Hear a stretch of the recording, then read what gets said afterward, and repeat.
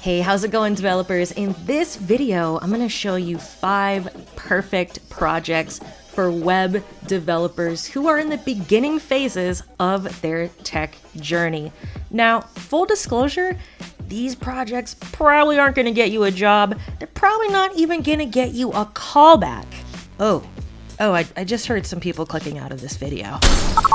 These projects can really help build your foundational skills, leading you to the next level so that you can create some really good projects for that portfolio that you're going to be submitting to employers that will call you back and ideally hire you. So let's just get right into it.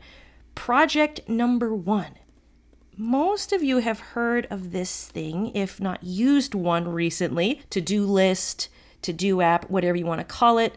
Uh, lots of examples on CodePen to explore if you're trying to figure out how these things work. And what I like about CodePen 2 is that not only do you see the final result right here, but the code is also on the same screen in these convenient little boxes. So we have our little HTML box, we have our CSS and our JavaScript over here. And basically uh, the to-do app, for those of you not familiar with it, it's like an interactive list of things you have to do throughout the day. For example, this is usually on my to-do list. Hit enter or hit the green button, maybe, perhaps and it's added to the list. And now that I've added that, let's just add another thing. How about eat more pizza? Because that's usually on my list as well. We'll add that. And as you see, the item, the to-do item popped up. Now, what if I wanted to get rid of it? Oh, look at that. Ooh, that's slick. I just click on it and it's done. It's not a to-do anymore. It's a to-did. Now, of course, you don't have to use CodePen, but it is a pretty good place for finding out what other people are up to. Maybe get some ideas, especially when it comes to UX UI. You can easily see all these examples here. Let's go to this one, Vue.js 2.0. Now, this is a more advanced one used with the Vue JavaScript framework. For newbies, maybe not recommend using Vue right off the bat if you're new to HTML, CSS, and JavaScript. Just to illustrate what this is all about, there we go.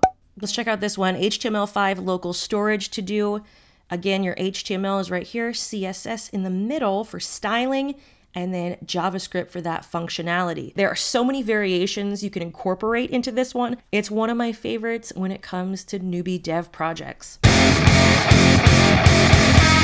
Number two on this list, Yelp Camp. My Udemy people, my Udemy web devs know what I'm talking about. My Colt Steele fans know what I'm talking about. For those of you not in the know, Yelp Camp is the cult classic, or should I say Colt Classic project that you build in Colt Steele's web development bootcamp. It's an amazing application. It's a full stack app, but it is for beginners. This project is the capstone project. It's what you focus on the most in that Colt Steele course, but you don't have to enroll in this course to create this project. You can check it out on GitHub. There are plenty of people who have posted the code there, and you can check it out. It's a full stack application where users can submit campsite information, review the campsites, upload photos. Of the five projects, this is the most labor intensive one. It does take a long time, but as far as full scale, full applications go for beginners, I think you're going to be hard pressed to find a better one to do because there is such a great community around that bootcamp and around this project. And there is a lot of code from Yelp Camp floating around where you can investigate how other people tried building this thing.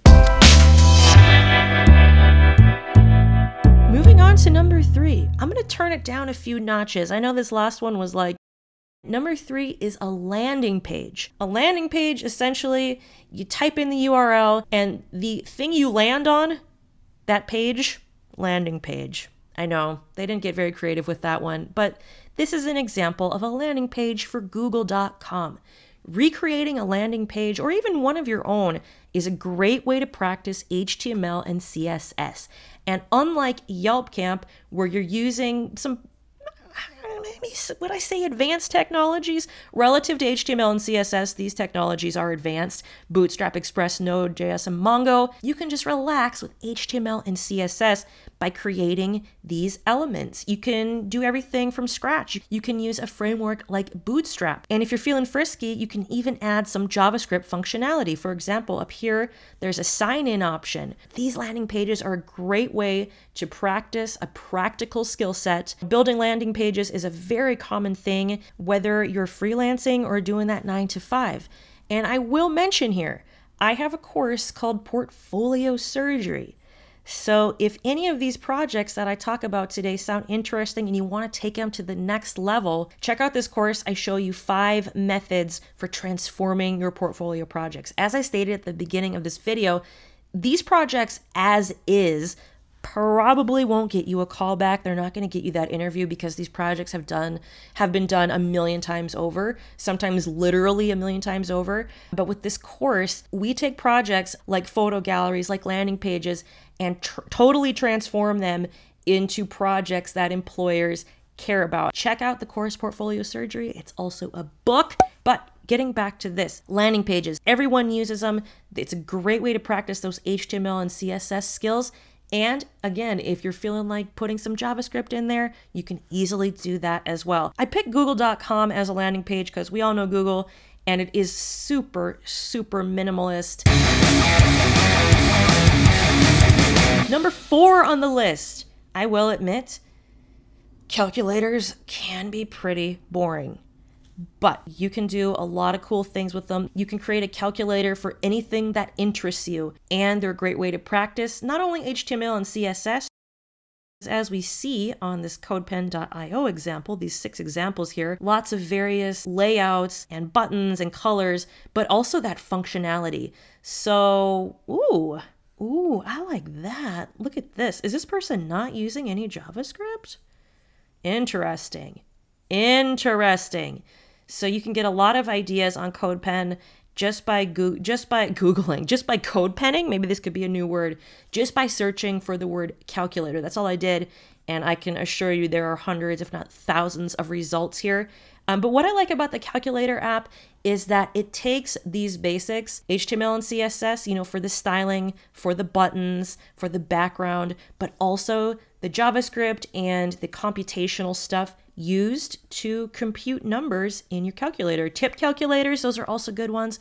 Very practical. They can be fun too, especially when they start working. That's a really fun part. It feels very validating. Here's a BMI calculator, compound interest. Think about anything that you can plus or minus and you can make a calculator out of it. It doesn't have to have all these, you know, Texas Instrument symbols on it. You could have a, just numbers and a plus sign or a minus sign, depending on how creative you wanted to get.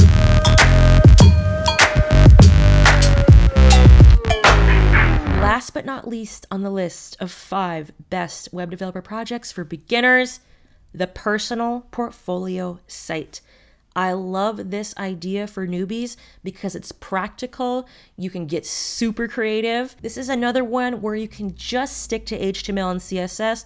Or if you want to get crazy, you can put JavaScript in there. If you want to even get crazier, you can use something like a static site generator. Your imagination can take this portfolio site anywhere it wants to go. Also, if you finish a portfolio site and you don't like the look of it, no one says you have to keep it around. When I was first starting out, I had like four different portfolio sites I was working on simultaneously because I just wasn't satisfied. Finally, I built one that I really liked and got me my first dev job. Here I am at juliacodes.com.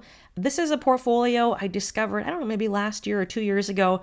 Love the layout of this portfolio. It's clean. Now, I'm not sure all the technologies she used, but you can see these little nuances here. If I hover over her project forecast, you see that, that little effect there? You can build this effect so many different ways. Your imagination is your only limitation when it comes to the personal portfolio site. So if you have an unlimited imagination, you're really going to enjoy this project, I think.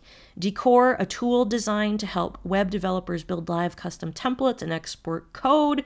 Coffee by Benjamin. But you see these little components. All of these things took code to build. Sometimes when we use these sites, we don't think of how much work it took to actually build them.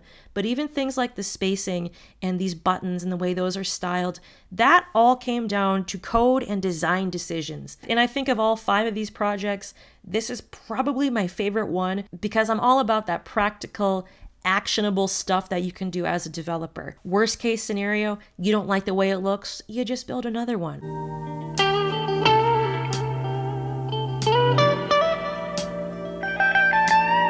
So, to recap the five perfect projects for web developer beginners number one, to do app, number two, Yelp Camp, number three, landing page, number four, calculator, and number five, personal portfolio site. If you enjoyed this video, please feed the algorithm some food with a thumbs up. Subscribe to this channel for more videos and check out Portfolio Surgery. I hope you're having a fabulous day, and I'll see you in the next video.